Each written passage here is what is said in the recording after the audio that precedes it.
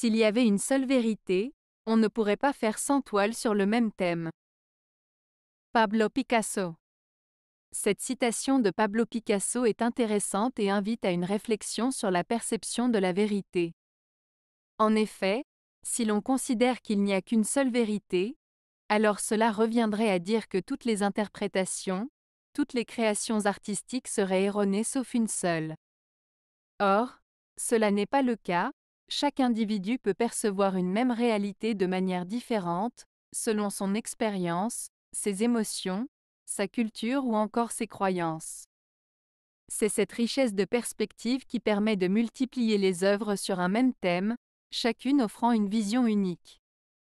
Picasso valorise donc la diversité, l'originalité et la subjectivité qu'apporte chaque artiste à son travail.